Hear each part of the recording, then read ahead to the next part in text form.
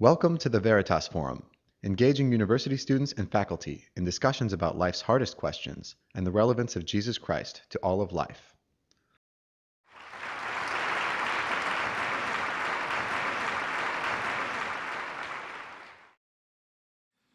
Well, ladies and gentlemen, thank you very much indeed for your warm welcome to Georgia Tech. I have looked forward very much to coming here because in my youth I wanted to be an electrical engineer. And uh, I gather that this university has great distinction in its production of electrical engineers. But whether fortunately or unfortunately, I was persuaded to do mathematics and ended up at Cambridge in England. But thank you nonetheless for your very warm welcome.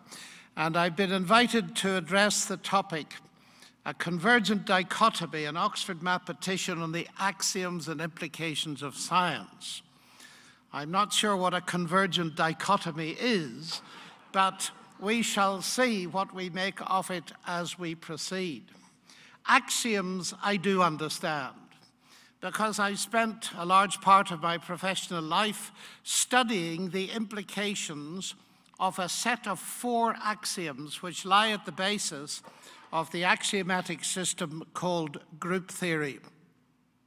From my childhood, I was fascinated by logical analysis, and we were taught Euclidean geometry.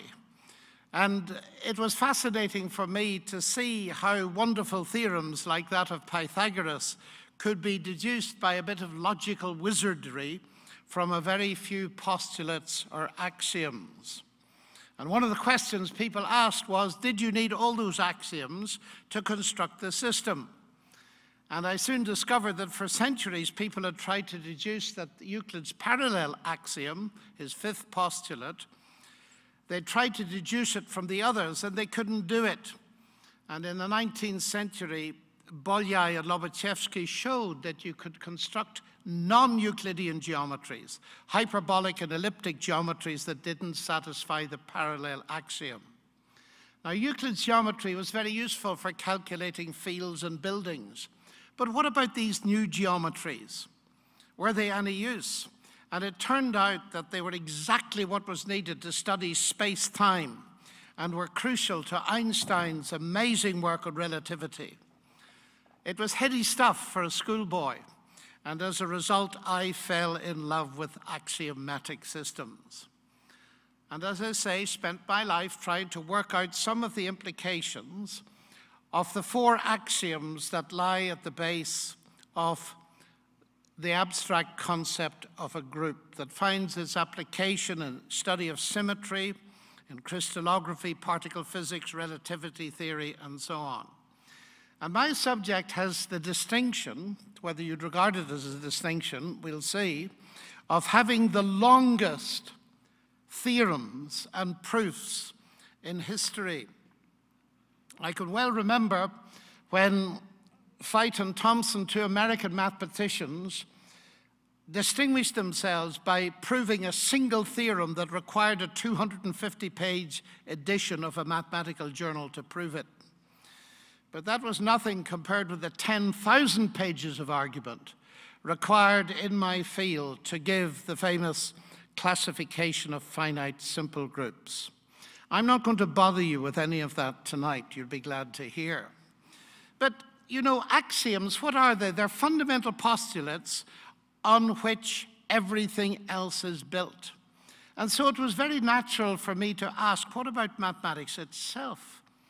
Does it have fundamental postulates? And what about science, which is larger than mathematics? Are there basic assumptions that are believed by all scientists? Or is it somehow axiom free? And as I begin to research into this, I found all kinds of fascinating things. I noticed that all scientists believed one absolute axiom they believed that science could be done. Now, that may not strike you as important, but it is extremely important. The fact that we can do science and that belief that it can be done lies at the heart of every true scientist. If you didn't believe that, you wouldn't do science. Now, I met some people who believed that science was ever more closely approximating to a truth that was out there. And that's the position I myself would take. We call it critical realism. I also found some people who believed there was no such thing as truth. And yet they expected me to believe that what they said was true, which didn't seem to me to be particularly impressive. It was a self contradictory axiom. I noted incidentally that not many of them were scientists. At least if they were, they left their postmodernism outside the laboratory. So I then discovered that some people were so enamored with science that they believed that it was the only way to truth, and that therefore science was coextensive with rationality. Now, if that were the case, of course, half the faculties in most universities in the world, perhaps apart from this one, would have to close. I don't know whether you do any humanities here or not, but most universities do, and Harvard, for instance, would have to close half its faculties, and so would Oxford, if science was the only way to truth. Now, another thing I discovered that many people took as a fundamental postulate is that science on the one hand and faith in God on the other are at war. There was a deep seated belief, and there still is, that scientific progress will eventually rid the world of a need for something beyond science to explain the toughest questions about the universe, as your invitation card says. So there appears to be a tension between science on the one hand and faith in God on the other. I would like to suggest that that is a false and dangerously false assumption. And it should be obvious that it's false. Take the Nobel Prize for Physics. Last year it was won by Peter Higgs, a Scotsman, much to the delight of the Scots. And he is an atheist. A few years ago, an American won it. His name is William Phillips, a low temperature physicist. He won the same prize as Higgs, but he is a theist, he's a Christian. Now, it ought to be completely obvious that what divides these two men is not their science. They have both won the top prize in physics in the world. What divides them is their world view. Peter Higgs, an atheist, William Phillips, a Christian. And I want to suggest to you that we'll never understand the contemporary debate unless we see that we are faced in this academy, as in every others, with two diametrically opposed worldviews. Worldviews, of course, are our set of answers to the big questions of life. And one of the questions that's been asked since the time of the ancient Greeks is what is the nature of ultimate reality? What is the really real. And Democritus and Leucippus, who were the brilliant fathers of the atomic theory, they had the idea that you could keep dividing matter up and up and up until you reached an atom, atomos, something that could not be cut. Now, of course, we know that they were wrong, but it was a brilliant idea. And they then approached ultimate reality in this way. They said, well, there are two fundamental things constituting reality. There are the atoms and there is empty space. And therefore, their view of explanation depended on this fundamental postulate. Everything had to be explained bottom up in terms of atoms and the void. So they came up with theories like the atoms fell through empty space and they agglomerated and they formed galaxies and stars. You know the story. That is the philosophy we often called materialism. Now, at the same time, there were people like Socrates and Plato and Aristotle who believed, yes, the physical world is real, but the really real is something beyond the physical world. There, are, there is transcendence. There are the gods, or there is God. And so, barreling up towards us in the 21st century, there are those diametrically opposed worldviews and various shades, of course, in between. But one tends to find that the so called tension between science and belief in God is a misrepresentation of the tension between those two worldviews. And the interesting thing, to my mind, is this there are scientists on both sides, there are engineers on both sides, there are very high powered thinking people on both sides of that divide. So that is the first point.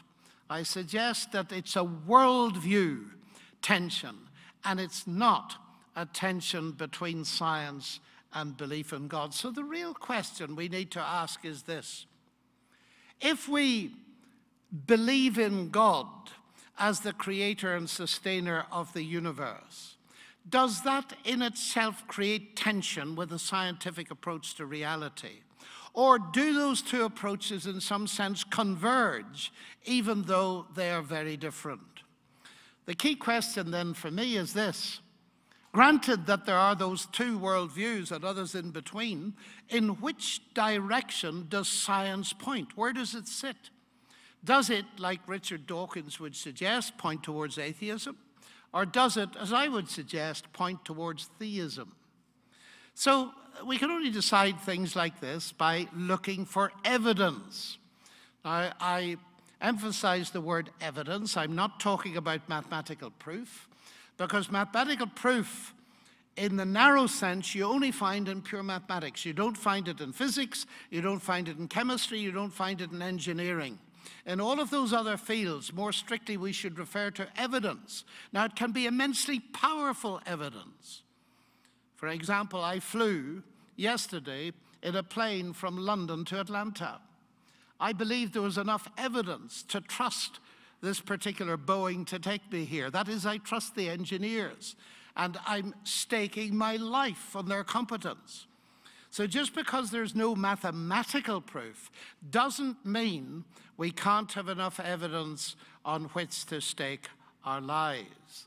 And of course, in other things, even more important than engineering, um, I cannot prove to you mathematically that my wife who's been my wife for 46 years, I can't prove to you mathematically that she loves me, but I'd stake my life on it because I've 46 years of evidence that she does so.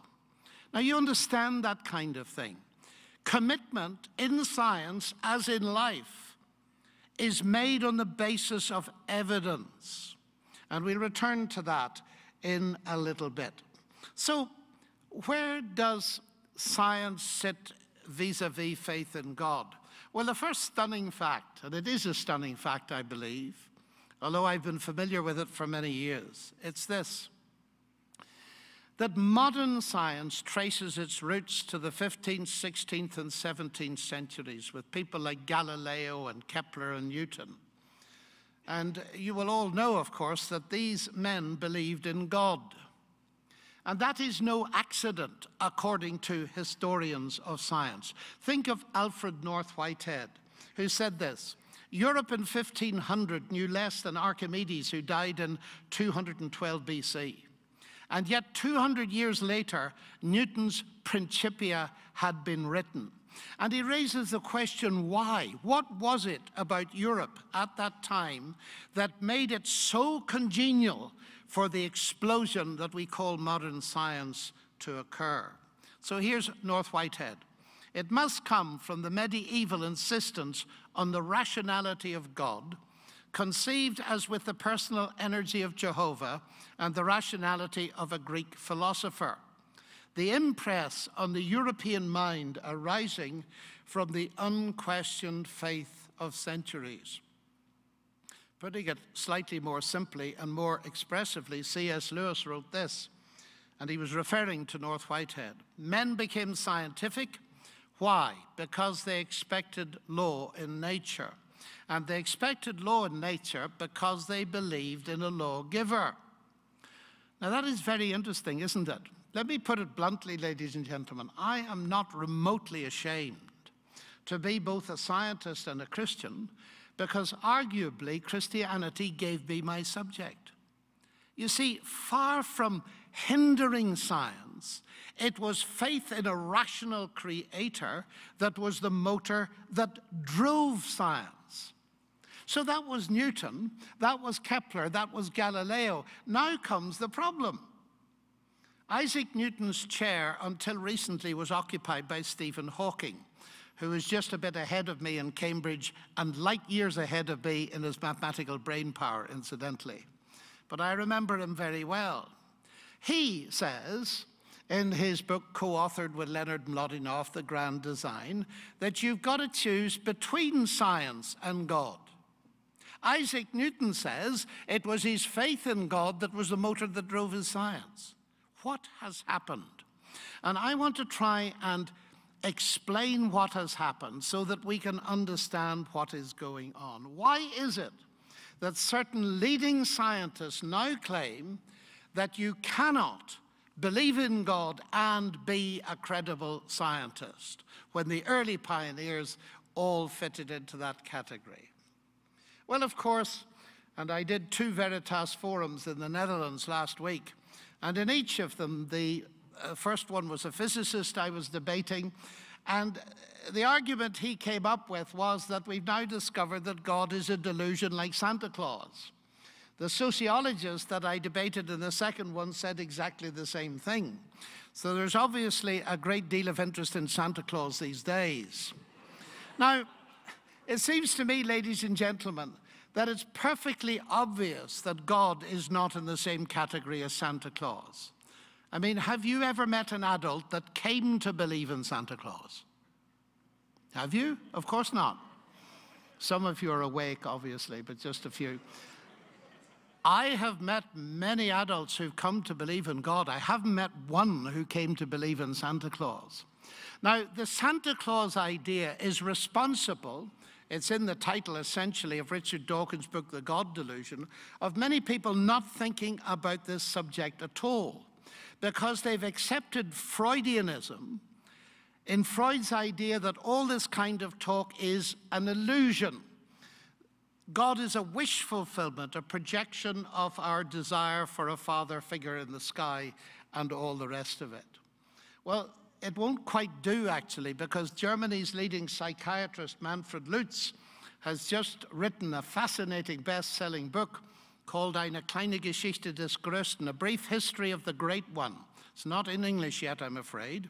But in it, he argues this. He said, Look, if there is no God, then Freud's argument is wonderful, a wonderful argument why religion is a delusion, and we can forget about it, if there is no God. Of course, he says if there is a God, the very same argument will show you that it's atheism that's the delusion. The projected desire never having to meet God or to be held accountable for the things that we've done in our lives. And Lutz's bottom line, which he puts very clearly, is this on the substantive question, whether there's a God or not, neither Freud, Frankl, nor Jung can help you one little bit. You'll have to look elsewhere. And yet people still make these assertions. Hawking said not long ago, religion is a fairy story for people afraid of the dark. And I was asked by the London Times how I responded to that. And I said, well, atheism is a fairy story for people afraid of the light. well, you shouldn't laugh, really, because that proves nothing uh, on the basis of what I've said. But it's easy to make these assertions. We've got to go deeper into the subject matter. Why then the opposition between science and God? Well, one of the reasons is explained to you on the card that you got before you came in. As science continues to explain questions once thought to be the result of the supernatural, the gaps for which science has no answer seem to be narrowing, along with the need for something supernatural to fill them. So when I had, we have debates in Oxford from time to time. Every year we have a God debate where we dress up in dinner jackets and we have a confrontational parliamentary debate about God. And last year I was in, on the Christian side and Michael Shermer, known to many of you, editor of Skeptic magazine, was on the atheist side. And uh, during the discussion, he looked at me and he said, of course, he said, you're an atheist. You're an atheist with respect to it. He started with A for Artemis, B for Baal, and so on, and went through the alphabet until he got to Z for Zeus. And he said, You are an atheist with respect to all these gods. And I confessed it immediately. I am, ladies and gentlemen, an Zeusist. I do not believe in Zeus. And then he delivered the bottom line, and he says, We just go one God further, and we get rid of Jehovah, the God of the Bible. And I thought, what an amazingly interesting argument. Because it shows he knows nothing about the ancient uh, gods of the ancient Near East. Because people who write authoritatively about those gods have pointed out a very significant fact about them. They are descended from the primeval universe. They appeared, whatever they were, they appeared from the matter of the original universe. And Werner Jaeger, a world expert on these gods, points out that the God of the Bible is utterly distinct. He did not descend from the heavens and the earth, He created the heavens and the earth. So the first point to realize is they're not talking about the same God. And that alerts me to the deeper question here. You see, the ancient Greek gods were gods of the gaps. Think of the god of thunder. I don't think Georgia Tech would believe in the God of thunder because you've uh, got a department, I imagine, of atmospheric physics, and 10 minutes in there will soon convince you that there's no God of thunder. You can explain thunder by temperature gradients, electrostatic discharges, and all the rest of it. So exit the God of thunder. That is, the God of thunder was only ever merely a God of the gaps, a placeholder until science made an advance. Now, what I discovered today, and it took me a long time to really realize it, is this notion of a God of the gaps has become so widespread that many people, particularly atheists, but not only atheists, think that that's what people like me believe. Now, try and follow the logic of this. If God is a God of the gaps, then of course you've got to choose between him and science because you've defined God as a placeholder until the scientific knowledge comes. But the God in whom I believe, ladies and gentlemen, is not a God of the gaps, he's the God of the whole show.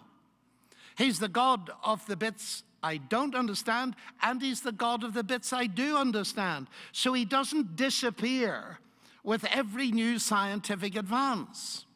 Newton, of course, saw that, and the others saw it as well. So when Newton discovered his brilliant law of gravitation, he didn't say, Wonderful, I've got a law, I've got an explanation, I don't need God.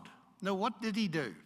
He wrote Principia Mathematica, one of the most famous books, if not the most famous book in the history of science, expressing the hope in it that it would bring the thinking person to believe in a deity. Because you see, the more Newton uncovered of the way the universe worked, the more he admired the genius of the God that did it that way.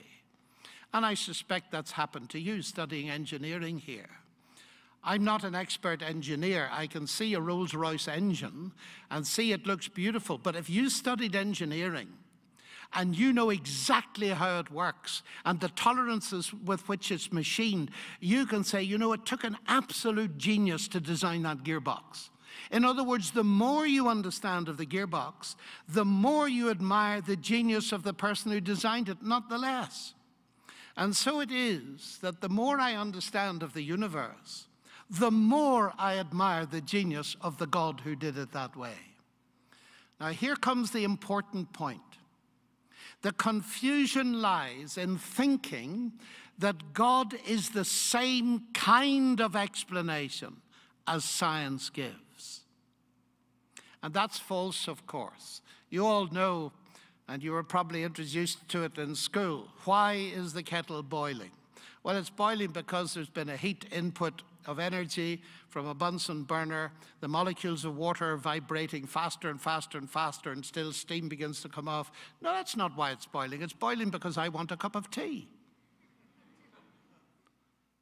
And you laugh. Well, which of those explanations is correct? And you say, don't be silly. They're both correct. You see, in ordinary life, we're used to complementary explanations if we're thinking of a Ford motor car, and I say, well, let me give you two explanations. One is internal combustion and automobile engineering. The other is Henry Ford. Please choose. You would think I was a consummate idiot, wouldn't you? because you need both. Now, surely we can all see that Henry Ford does not compete or conflict with automobile engineering and the law of internal combustion as an explanation for the motor car engine. You need both to give you a fully orbed explanation. In other words, to abstract from that, you need explanation in terms of mechanism and law on the one hand, that's the scientific explanation, and in terms of agency on the other, Henry Ford. And it's the same with the universe.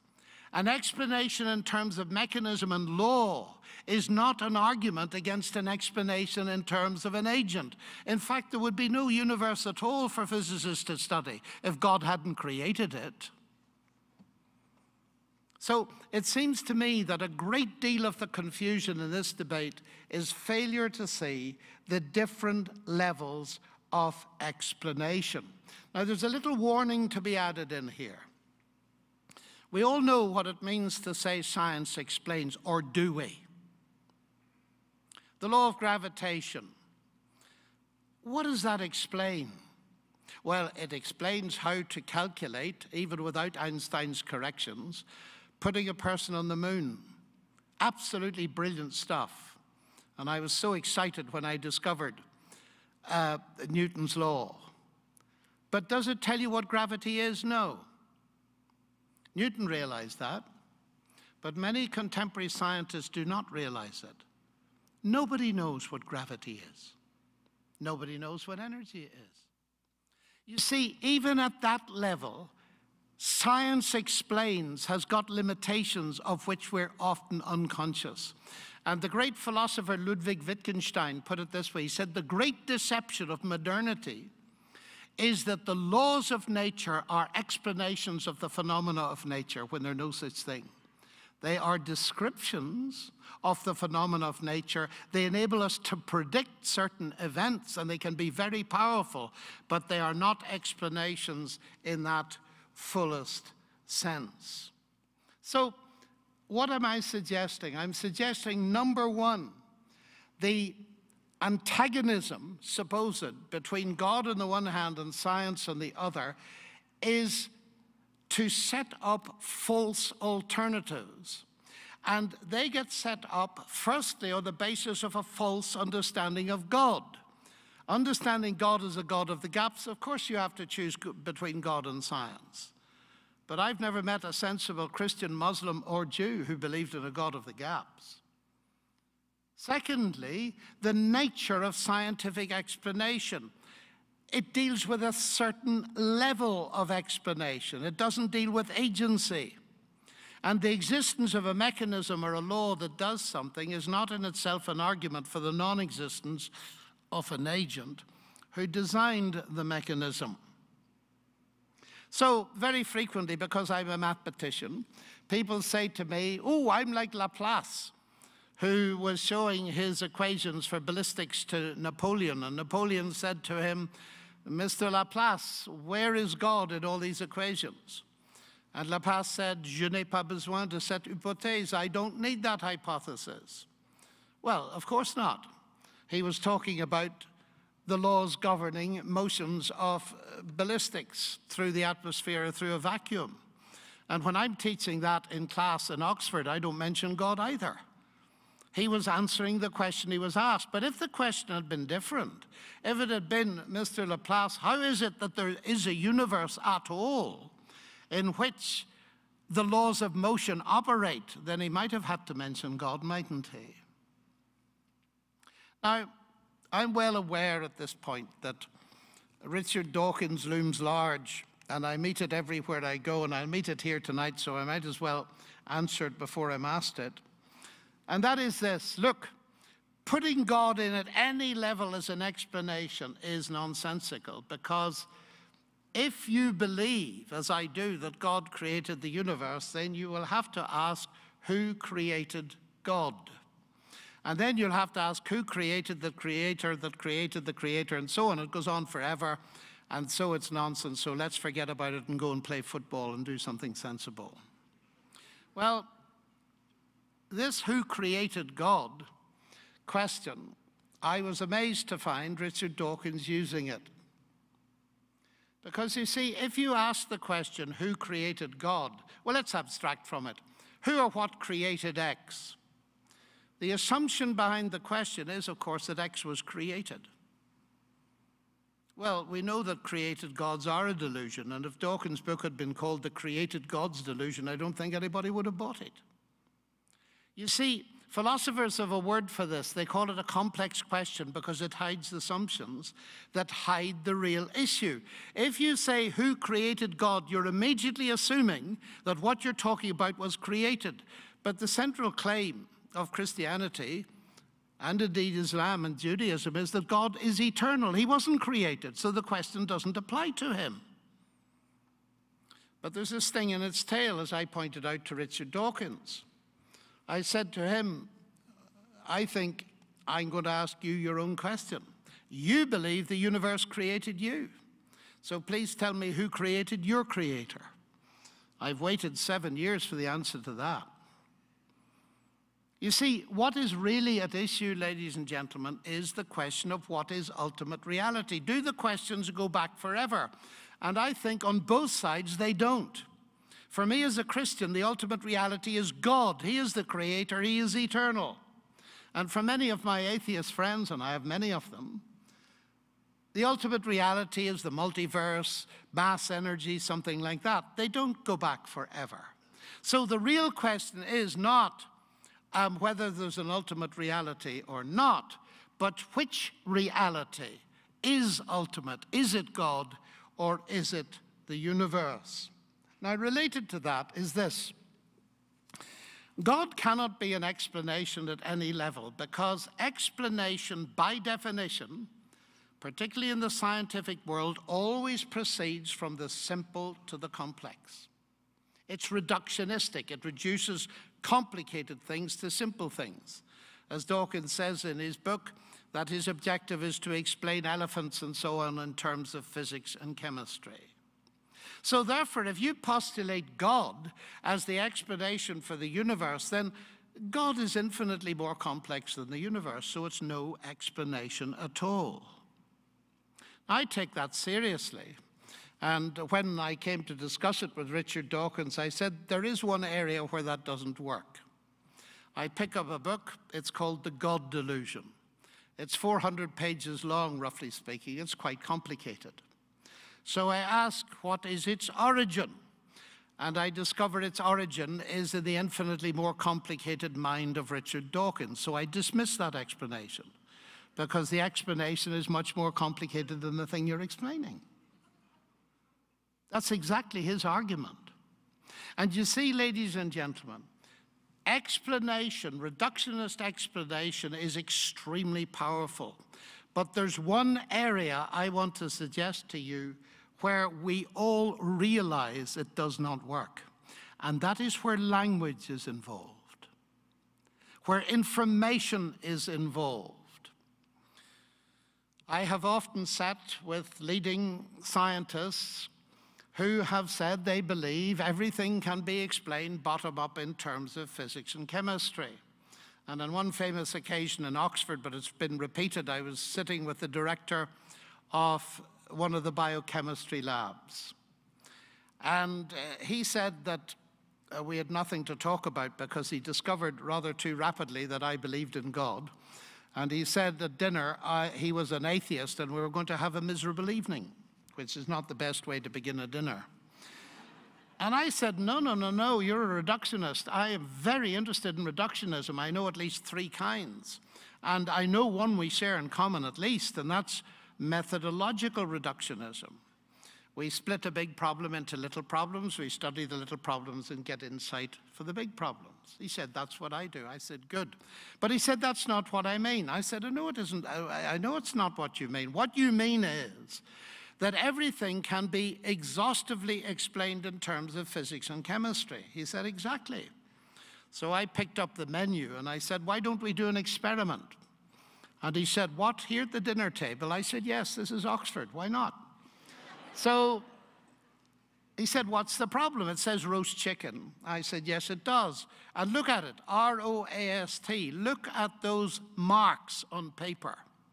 They carry meaning. You've already interpreted the meaning. Now I said those marks, R O A S T, in that order and with that shape are semiotic. They carry meaning. He said, Exactly. Okay, I said, have a go. Explain to me the semiotics in terms of the physics and chemistry of the paper and ink. And his wife, who was sitting beside him, said rather too loudly, Get out of that if you can. but his answer stunned me. He didn't try to get out of it. He said, It can't be done. I was so shocked.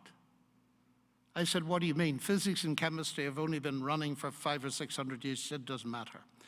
You cannot do it because it involves semiotics and meaning. The explanatory power of physics and chemistry is not adequate to account for the meaning. And then he said, Where did you get that argument? He could say I wasn't clever enough to have thought of it myself. and so I confessed that I got it from a Nobel Prize winning uh, medic called Roger Sperry. Now, here's the interesting thing about that little story, ladies and gentlemen. He said the situation with the semiotics, with the language, demands an explanation in terms of an intelligence. An intelligence of the gaps? Are we back with the God of the gaps? Well, no, and yes. It depends on the nature of the gap. Because what I think we need to take on board is there are what I call good gaps and bad gaps. The bad gaps are closed by science. The good gaps are opened by science, and this is one of them. Now, I'm interested as a mathematician in trying to understand the very difficult subject of the theory of information. And you see, if you study the works of people like Leonard Brillouin and above all, Gregory Chaitin, his work on information theory and the basic ideas that surround it, that a machine can transmit information but not generate it. That, to my mind, is utterly fascinating. Now, this is a difficult topic, and there's a lot of argument about whether it applies completely here or not, but it suggests something very important. Because the human cell is an information processor. It is a machine, it's more than a machine. Now, if it is a machine, then what we're faced with, that machines cannot, and I'm quoting Brillouin now, generate any information that's not either in their informational structure or in their input. That would suggest to me that a, a purely naturalistic account is doomed to failure if the capacity to produce something linguistic is involved, which is why, of course, the moment you see letters on paper or your name written in the beach, you immediately infer upwards to an intelligence. No matter how many automatic processes which you may not have seen are involved in putting those letters in the beach, you infer upwards to an intelligence. Well, we have lived to discover the longest word that's ever been discovered. It's called the human genome. It's four and a half billion letters long, roughly speaking, in a four uh, letter alphabet. The codons that form it. So you've got this three and a half billion letter long word, everything exactly in the right order like a computer program. And I ask many people these days, what is the ultimate origin of this? And they say chance and the laws of nature. I say, hold on a minute. You see your own name written on a beach and you immediately infer intelligence. Why don't you infer it here? Because you see, ladies and gentlemen, every analogy we know, all the experience we have, both within and without science, tells us that where there's language, there is a mind. Now, what I'm suggesting to you, therefore, is this as we move into the question time is that these worldviews can be put in a slightly different way. The atomist worldview of materialism starts essentially in the beginning with the particles, and the particles generated the worlds, and the worlds generated life, and life generated consciousness, and consciousness generated the mind, and the mind generated the idea of God because there isn't a God. The other worldview goes like this In the beginning was the Word, and the Word was with God, and the Word was God. The same was in the beginning with God. All things came to be through Him. And without him, nothing came to be that came to be. And here is the biblical solution to the question that's been asked again and again in a series of books by Stephen Hawking, Lawrence Krauss, and so on. Why is there something rather than nothing? The answer is because an infinite, eternal God caused it to be. If you deny his existence, you have a massive problem, as any reading of the books by Hawking and Krauss will show. They have not solved the problem. Their nothing from which they claim the universe started is no such thing. It is alive with potentiality. It is a quantum vacuum. And I had the opportunity to debate Alan Guth, the father of the idea of inflation, which has been confirmed by the experiments at the South Pole on gravity waves. And I said to him in public at the MIT Harvard Faculty Club, I said, Alan, there's a great deal of confusion out there about nothing.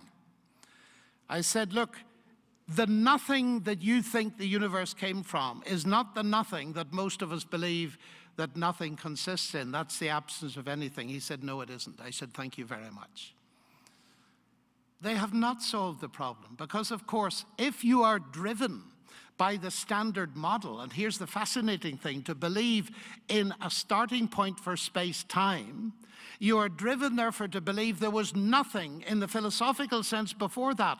And so you're presented with a massive problem. How do you get something from nothing? But the physicists can't get something that's physical from nothing that's non physical. So they have to redefine nothing to be physical. Listen to Lawrence Krauss's definition. He says in his book, because something is physical, nothing must also be physical, especially if it's defined as the absence of something. What? I was staggered when I read that. But, ladies and gentlemen, it seems to me that here we come to a very interesting pointer from science towards God. Alan Sandage is regarded rightly as one of the fathers of modern cosmology. He discovered the quasar. And he says, you know, God to me is a mystery. But he is the answer to the question why there is something rather than nothing. I make the point again if God hadn't created and didn't sustain the universe, there would be nothing for you in Georgia Tech to study. Thank you very much.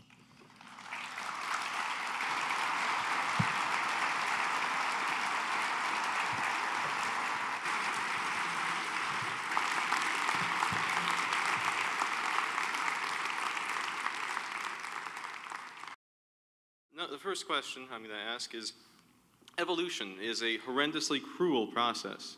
So, how can a good God create through such gratuitous cruelty? Okay, that's pretty succinct. Thank you. All right. Uh, second one is uh, how can we do physics at all if the world is not a causally closed system, eh, since Christianity claims it's not? How can we do physics at all if the universe is not causally closed, okay? Thank you. All right. Um, is that you done? Who's next? Who's, yeah, who's next? It's um, good for the audience to hear all the questions can, and then I'll comment on them. All right, how, how about this? Can we reduce meaning to causation through something like speech act theory? Are those all your questions? Those are my, yeah. Oh, I see. It was supposed to be one each, actually, but there we are. That's right. Off you go, the rest of you.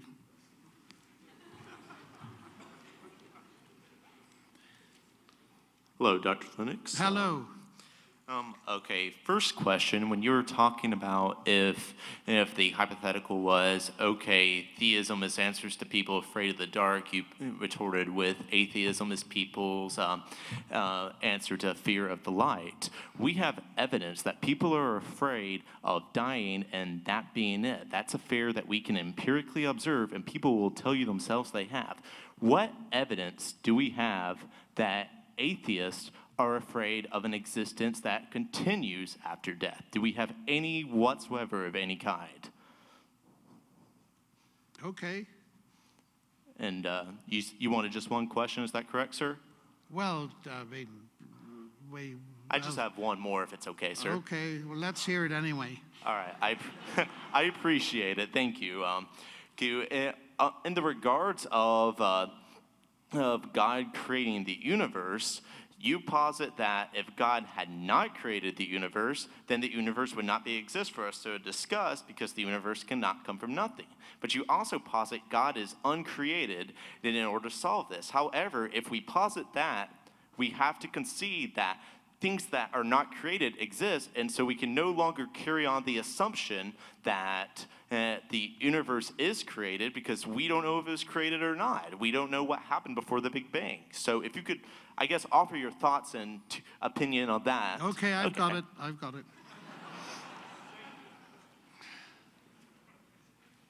Very interesting. Who's next?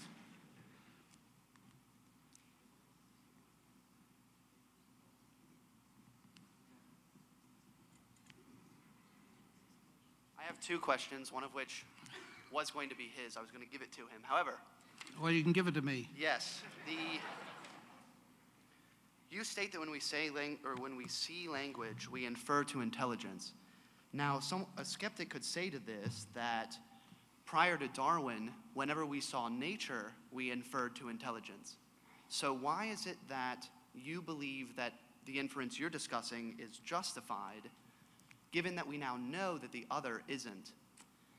And my other question is a lighthearted question. Uh, Richard Dawkins has recently been using his Twitter account to express his support of a YouTube atheist who goes by the name Jaclyn Glenn.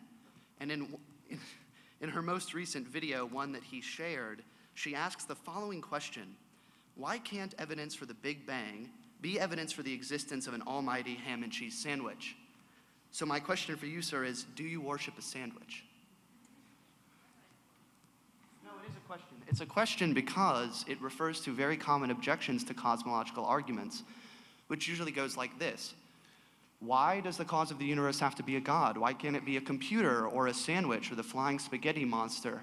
Why does it need to be what you call God? Okay, And- we, we've got it. Okay, is that it, gentlemen? Is that it? Well, thank you very much. Uh, these are very interesting questions, and as usual, they would require a lecture each. Um, so I'm not going to do them in the order that they came. I'm going to try and uh, reorder them slightly. Um, how could we do physics at all if the universe is not causally closed? I would suspect that we wouldn't know anything at all or be able even to reason if the universe were causally closed. Now, this is an argument that C.S. Lewis has developed very powerfully. You see, the thing that I left out of my account because I ran out of time was this. One of the biggest problems these days relates to what I said at the very beginning. All scientists believe that we can do science, and you've referred to it, we can do physics. What do we do it with? Well, we do it with our mind. But what is the mind? Well, it's the brain, according to the reductionist. And what is the brain? It's the end product of a mindless, unguided process. Now, I would put to you that if you go into your lab at Georgia Tech tomorrow and you're introduced to a new piece of equipment by your professor who says, by the way, uh, ladies and gentlemen, this is a very interesting new uh, piece of test equipment. It was constructed by a mindless, unguided process. And I want you to use it for your final examinations. I think you'd object. You wouldn't trust it. And you see, from where I sit as a Christian, I have a rationale for trusting my intelligence because there's a God behind the universe that the mind is studying and behind the mind. Now, this is an argument that is now being taken up very powerfully by one of the leading philosophers in this country called Thomas Nagel. And Thomas Nagel has written a book called Mind and Cosmos. And his fellow atheists are massively upset. If you want to see how upset they are, just Google his name. Because Nagel is arguing that if you take this closed universe reductionist view, you end up by undermining rationality. As Alvin Plantinga, uh, one of America's leading philosophers, a Christian this time, points out, if Dawkins is right, that our minds are essentially our brains and are cobbled together by mindless, unguided processes, then he has given us strong reason to doubt anything they tell us, including his science and his atheism. And my biggest problem here is this my main objection to atheism, I'll be honest with you, is not because I'm a Christian, it's because I'm a scientist.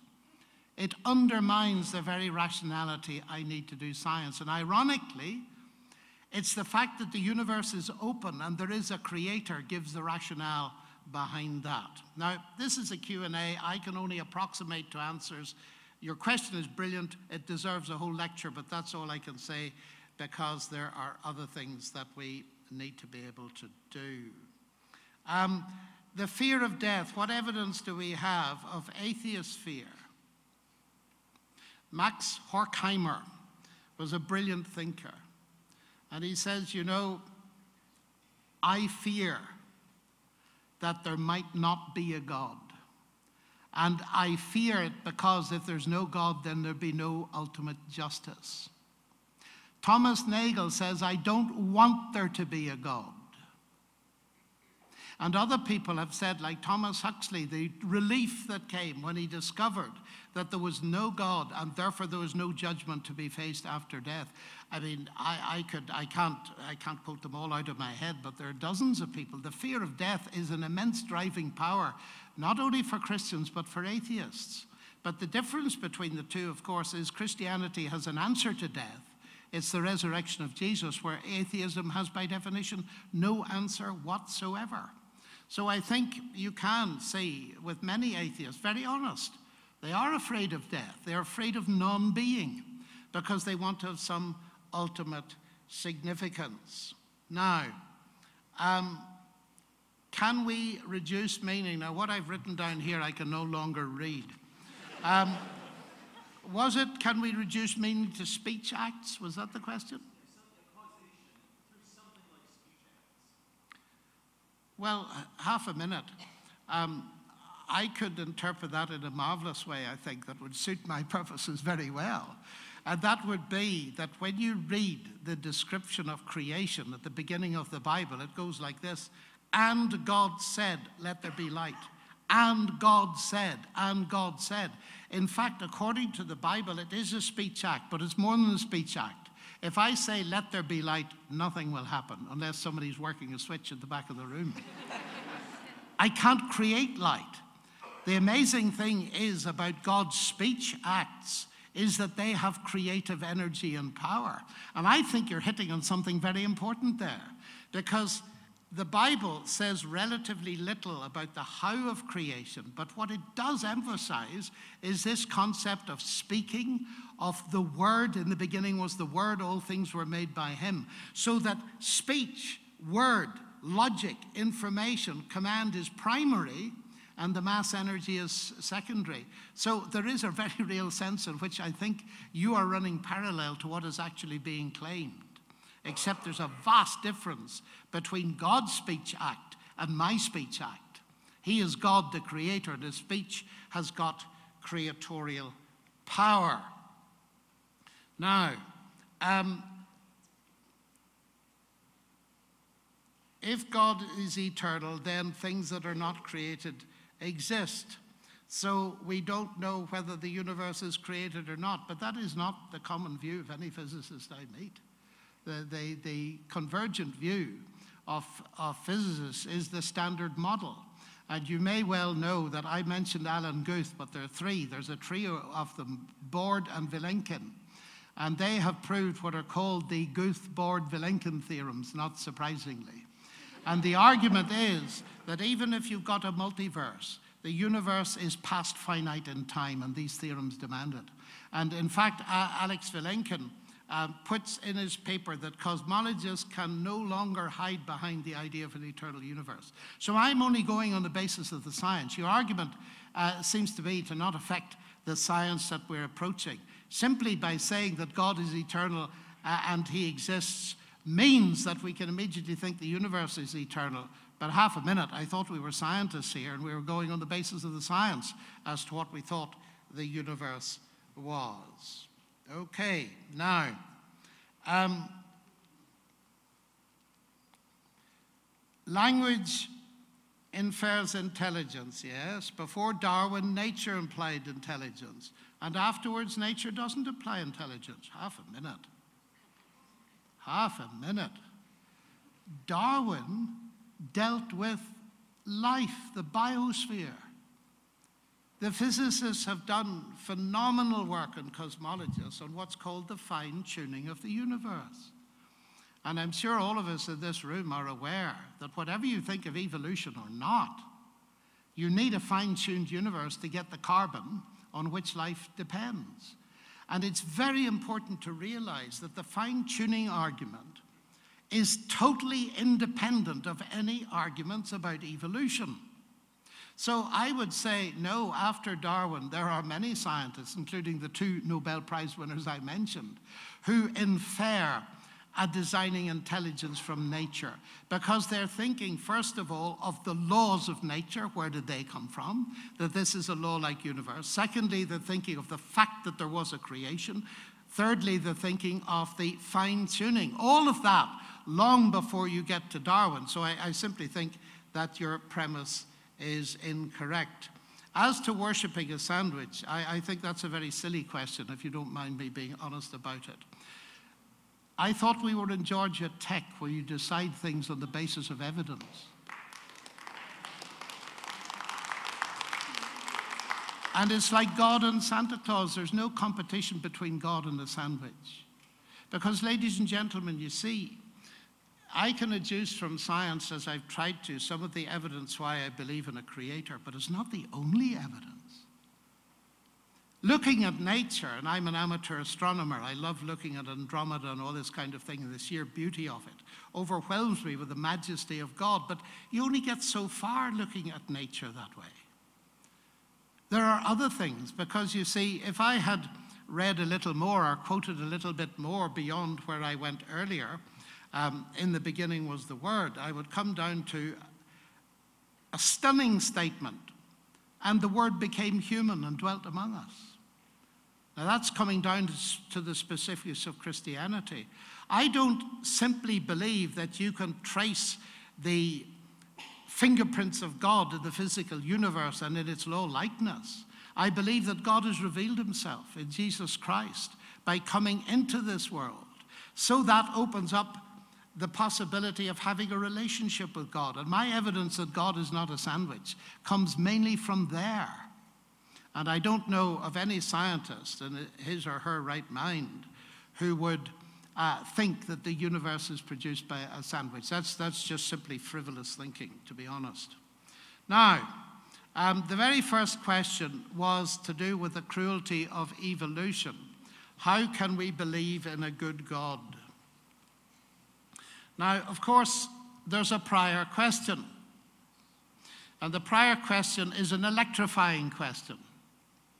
And of course, it is how much weight can the so called evolutionary hypothesis bear? I didn't give you the subtitle of Thomas Nagel's book. Perhaps I ought to give it to you now, just so that you know. The subtitle of the book, Mind and Cosmos, is this why the neo Darwinian view of the cosmos is almost certainly false. That is staggering because, as I say, Nagel is one of the top philosophers in this country. He's also an atheist. There are serious questions in my mind as a mathematician as to how much weight the evolutionary hypothesis will bear. Clearly bears some weight, as, as, as Darwin saw, but that it's a universal creative engine for the reasons I've partly given to you for, uh, from information theory, it cannot even begin by definition to account for the origin of life because evolution depends on you having life for it to start, so it cannot be an explanation for it. But I can leave that aside. I've written a book about it, so I'll shamelessly advertise the book. It's called God's Undertaker. But I take your point now about looking at the universe, whether it's evolution or not, it's full of horror and cruelty, isn't it? We all see that. And the question is, how do we come to terms with it? Either as an atheist or, in my case, as a Christian. And it's a hard question. It's a very hard question. Now, we regard it as evil. And that's interesting because, and this is a topic for another Veritas forum. Excuse I- me. Yes? How are any of these questions valid when the Gibbs free energy of the universe is the derivative of energy with respect to the constant age of the existence of thought? Did any of you understand that? I believe you did. No, I didn't. Well, I hypothesize then that the Gibbs free energy in any system of energy is the probability that it will be able to produce a self replicating concept of itself. I think there would be many people that dispute that. And Well, we- I know we that you- cannot- I know we you cannot, not. We cannot turn this into a physics seminar. But Um, is, is and- this not And the- secondly, I, I excuse me, don't is this not the convergence of mathematics and religion? I don't understand how it could possibly be. Discussions of Gibbs free energy lie perfectly validly within the scientific sphere. They do not answer any questions about the existence of God or not. Because in the end, you know as well as I do that you've got to explain the existence of any energy at all. But I think we'll continue with the questions I was, I was asked because we must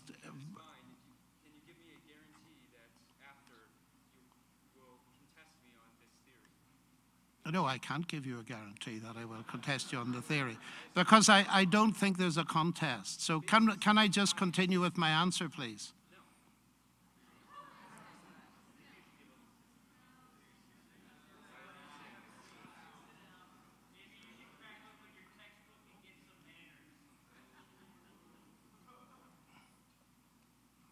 You know this is the first university in North America where this has happened?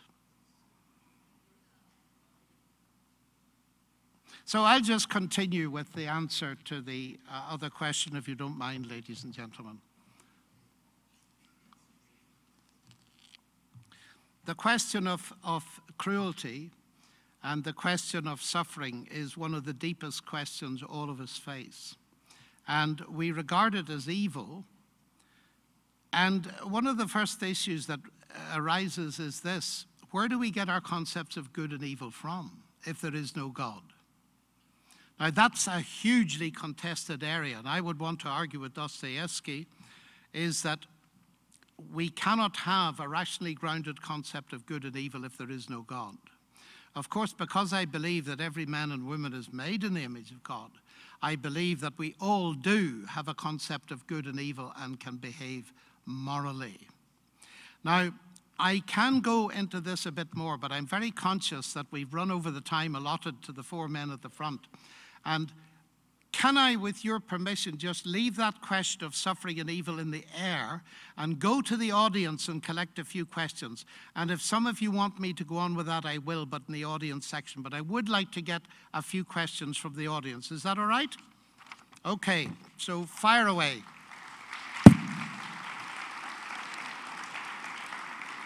Let's get a few questions from the audience. Put up your hand and I'll recognize you. There's one waving fiercely at the back, and here's a man here. Okay, you go because you're here. Come up to the microphone, would you? That would help. This is not a question, but on behalf of uh, Georgia Tech, uh, Dr. Lennox, I would like to apologize for. Oh, uh, don't worry about it.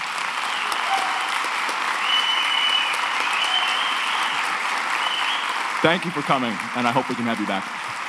Listen, listen, don't you worry about it. Georgia Tech is not one individual. Okay, next in line, please. Okay, uh, so you said earlier that um, thinking Christians don't believe in this God of the gaps. Uh, do you have a uh, rationally you know, self-consistent um, and falsifiable definition of God that you could give. Okay. Definition of God falsifiable in the Popperian sense, I take it. Okay, two. So, so my question revolves around moral relativism. Uh, we grow up getting different pains. Uh, growing up, you know, I experience different pains than somebody else. Um, somebody else experiences different pleasures. And my concepts of morality and thus concepts of, of a God or a God are centered around that. I'm curious on how you sort of address that in your Christian framework. Uh, specifically, if somebody has different sets of experiences and has a different concept of God, how do you sort of merge those views together um, if the experiences are different? Um, that's okay. Thank you. Very perceptive question. Yes, please. Yeah. So you talked a little bit about the cosmology of uh, men like Krauss, who have the idea that the universe came from a quantum vacuum. And you introduced some concepts such as the Borde-Guthun-Vilenkin theorem. And I was wondering if you could explain a little bit more how we can, uh, for sure, arrive at the idea that there was actually nothing, like a negation of anything, as opposed to Krauss's idea of a quantum vacuum. And kind of connected with that, why do Vilenkin and I guess you said Guth has debated you on this, why do they have different philosophical interpretations of the science they give, and you use the science for your interpretation and they use it for another. Why is there that discrepancy? Thanks. Okay, number four. Hi, Dr. Lennox. Just want to reiterate what I do have a question, but I did want to reiterate what the uh, first gentleman said. I do apologize on behalf no. of Georgia Tech and the rest of it. I'm actually a former engineer and a, a, law student, and I was interested in how you opened your talk with um, a discussion of how mathematics is at one point in your talk, you mentioned how rationality, uh, perhaps probably even mathematics itself, requires uh, mind, an open, open causal universe. I was wondering if you might be willing to expound a little more on the uh, idea of mathematics, or the problem of mathematics, and applying it to the real world when we don't have, uh, apart from a theistic worldview, where I, I, basically see three prerequisites for mathematics to be useful. There has to be a rational order to the universe, um, there ha- and uh, we have to have minds that are, are rationally capable, and then there has to be some sort of correlation between the two that we're justified in relying on yep. in order to apply math. And I was wondering if you might, as, as a Christian mathematician, uh, expound on that idea a little more. Okay, I'll take one more, and then I'll, we'll see if we have time for some more. Um, hello, Dr. Lennox. Hello. Um, I wanted to ask earlier on during the talk, you said that you consider mathematics a subset of science. However, earlier on, sorry. Um, well, they give you they give you at Cambridge a BA in mathematics. um, however, you said that um, pure pure mathematics. Um, you separated pure mathematics from evidence. However, pure mathematics um, comes from intelligence itself, which is which you said is the greatest connection to God. Yes. So wouldn't pure mathematics then be greater than science itself? Well, you flatter mathematics. Thank you very much. So let's, let's have a look at these questions, and then if we've time, um, we'll go into them. The first question was, um, thinking Christians don't believe in a God of the gaps. I ought to add there that unfortunately some Christians do believe in a God of the gaps, and they give that impression. They let their faith depend on some, um, surely God is behind this little bit of biology or something like that. And in effect, they are believing in a God of the gaps. And what I want to stress here is that we need to be clear what God we're talking about. And your question is quite right. Can we give a definition of God? Now, here, of course, you run into difficulty because the big things in the universe in science, we can't define them. We can't define gravity. We can't define energy. We don't know exactly what they are, and yet we find these co concepts very useful. Now, the interesting thing about the question of God is how can we give a definition of God? Well, we can extrapolate from our experience of the universe, and we could argue that God is uh, powerful. We could argue that God is intelligent. God has created the universe with laws. But if we really want to get to know God, you see, the crucial step here in logic and in thinking is that God is not a theory, He's a person. Now, we are all persons. So, how do you get to know a person? How would I define you, for example?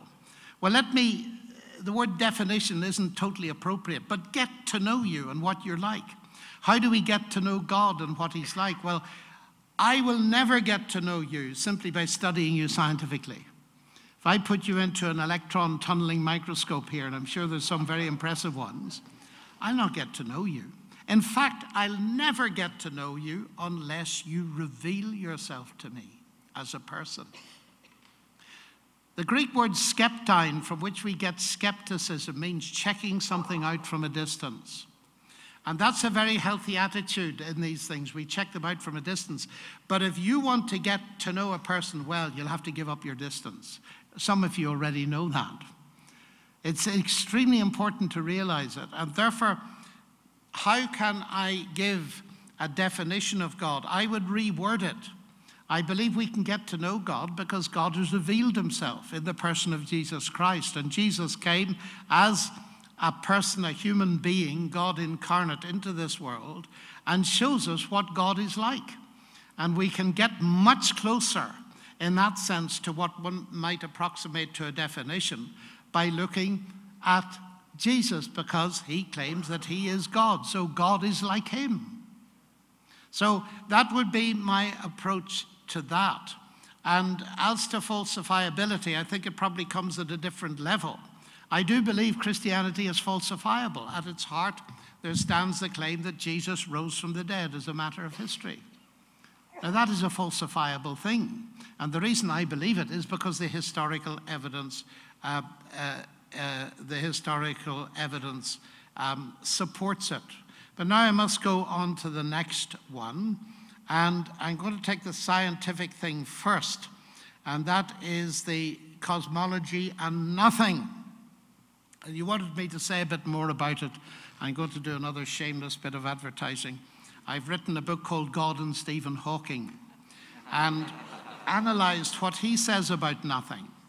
And it does concern me. You see, the nothing that most of us think of as nothing is the absence of anything. If I say I went down the road in Atlanta and met nobody, it doesn't mean I met somebody called nobody, it means I didn't meet anybody right? So nothing is the absence of anything. No laws, no physics, no atoms, no electrons, no particles popping in and out of existence, nothing. Now you see, the physics forces them to believe that the universe came out of that, but they can't get a universe out of that. So they redefine nothing. And they do it in a spectacularly interesting way. Listen to Hawking do it. Because there is a law of gravity, the universe can and will create itself from nothing. Well, when I first read that, I thought, what? Because there is a law of gravity, because there's something, the universe will create itself from nothing. That's a flat contradiction. And he says, because there's a law of gravity, he doesn't even say because there is gravity. And what a law of gravity would mean if there's no gravity, I wouldn't know. Because laws are descriptions of something that already exists. So it seems to me you've massive problems there. Now, if you step back to the biblical view, the very interesting thing is the discussion. I've quoted it once, but sometimes we're so familiar with this that we don't realize how powerful it is in the ancient Greek world because the Greeks were interested in the differentiation between the eternal, things that did not come to exist, and the temporal, things that did come to exist. And let me quote it to you again so that you see the power of it. In the beginning was the Word. That is, was in Greek is also a statement of existence. The Word already was. That is, the Word exists eternally. All things came to be through him. But now there's an extra clause, and it's the most interesting of all. And without him, that is, without the Word, nothing came to be that came to be. So if you're talking about things that came to be, the claim is that nothing came to be that came to be without the Word. So the first logical thing is the Word didn't come to be. And the universe came to be. That is, it came to be. There was nothing in the philosophical sense before. So it seems to me that the biblical view makes perfect sense. Because the universe has a cause, but it's not physical. God is spirit the primary stuff in the universe is not mass energy anyway. It is spirit. Now, that's a different uh, category altogether. Mind is primary, mass energy is derivative. So it seems to me that the Bible is talking a lot of sense. Whereas the physicists who are wandering outside their own sphere are talking, well, what Hawking says about the universe creating itself is nonsense, isn't it? If I say X creates Y, those words mean that if you assume X, you get Y. If I say X creates X, it means if you assume X, you get X. And what does that mean? It means that nonsense remains nonsense, even if high powered scientists are writing it. So that's what I'd say about that. Now, what you said about mathematics, I largely agree with. That mathematics used to be regarded as the queen of the sciences. And it's the mathematical describability of the universe that's the staggering thing that caused Einstein to say the only incomprehensible thing about the universe is that it's comprehensible.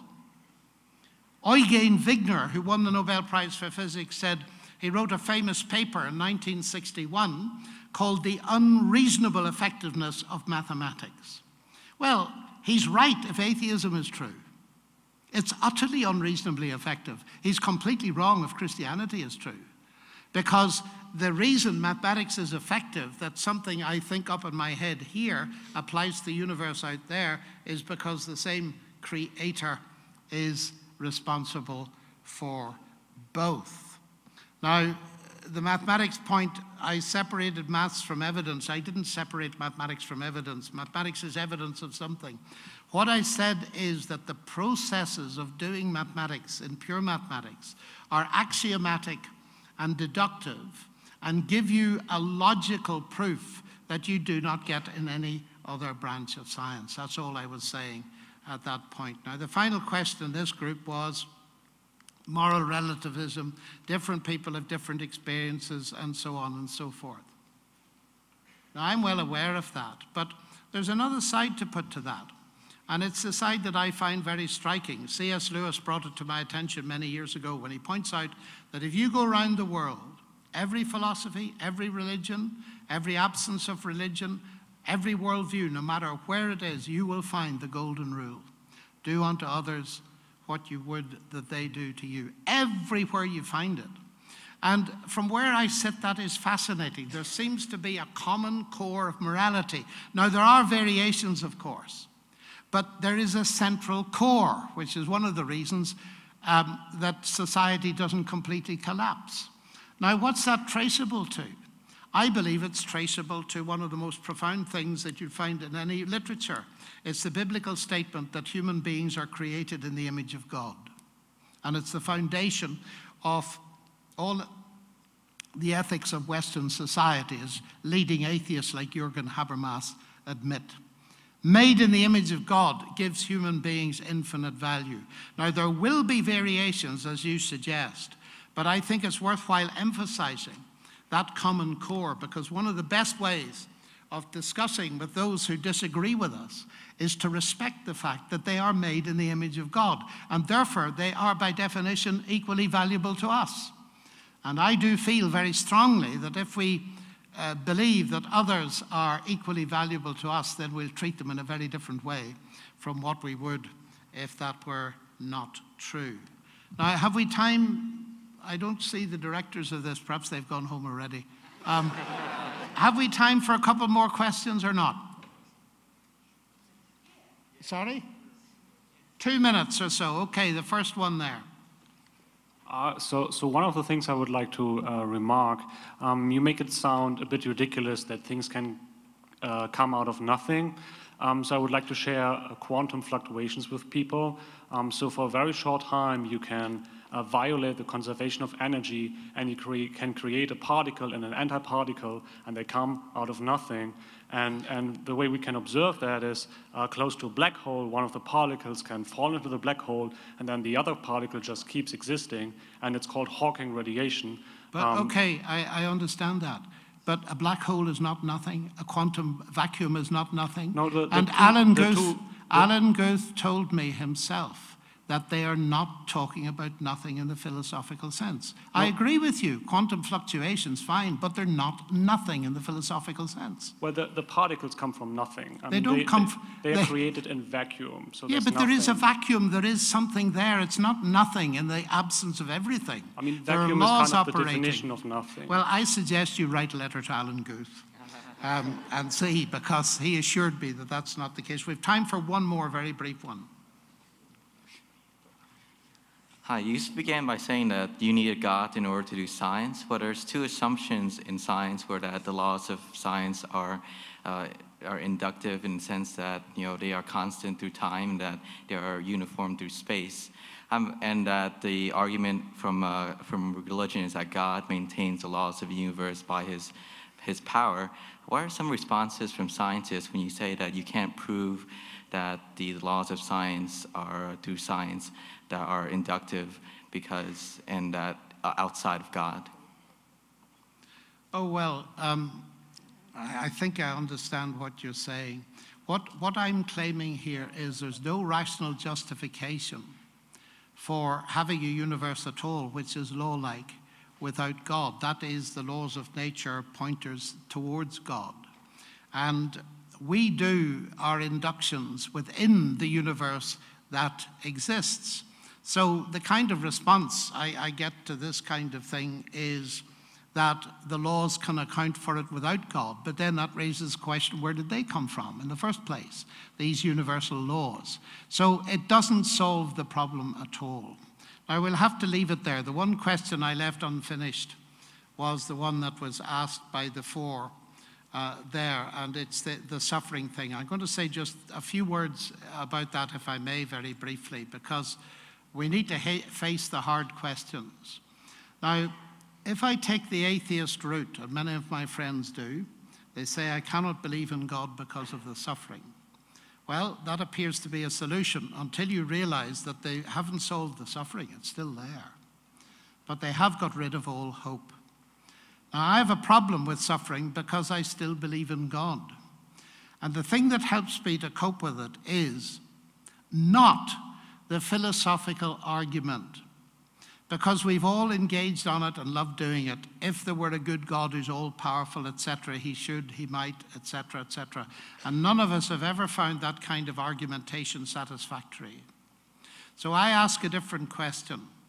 Granted that there's suffering in the world,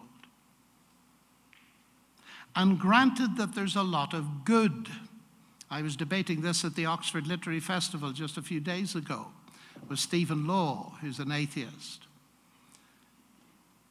There's a lot of good and there's a lot of evil. So what, how, how can we come to terms with that? And sometimes it reminds me of Coventry Cathedral. If you've been there, you'll see immediately when you go through the door that a bomb hit it. But you'll also see traces of beauty, and that's what life is like. We, in this university here, we are unimaginably privileged since I started this evening, how many thousands of infants have died unnecessarily? You see, that puts the balance. How do you cope with that? Well, since I can't cope with it philosophically, I ask myself a different question. And it's this granted that there's goodness, and granted that there's barbed wire, terrorism, pain, catastrophes, tsunamis, and so on. Is there any evidence anywhere in the universe that there is a God who can be trusted with it? And my answer to that goes to the heart of Christianity.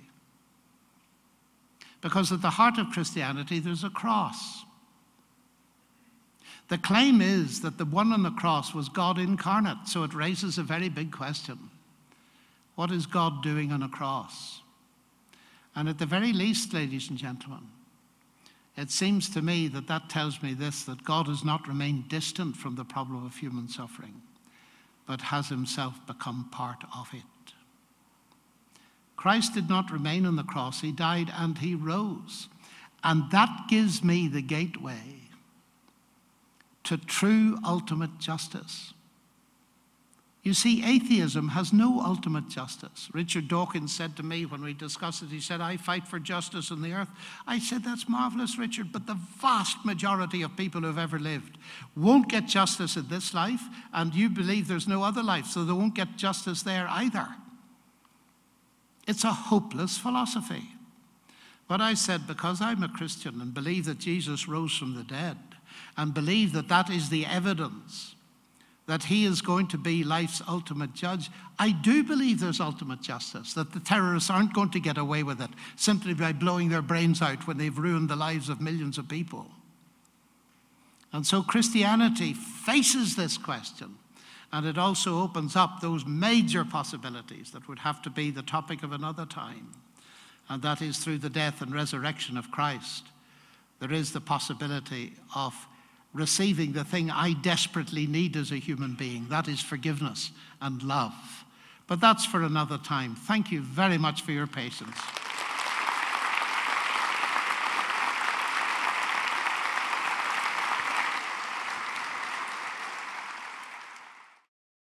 For more information about the Veritas Forum, including additional recordings and a calendar of upcoming events, please visit our website at veritas.org.